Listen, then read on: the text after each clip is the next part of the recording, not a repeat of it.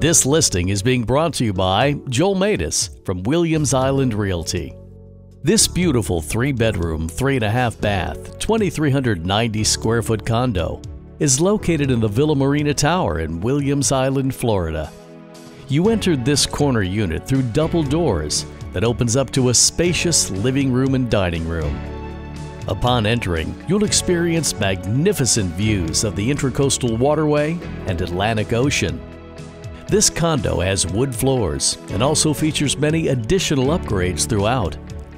The modern kitchen features GE profile appliances, white wood cabinets, granite countertop, a breakfast nook that leads to a balcony.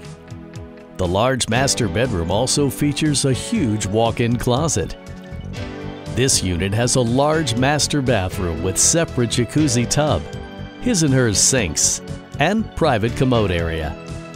The second and third bedrooms have ensuite bathrooms with views to the intracoastal and ocean and have direct access to the balcony.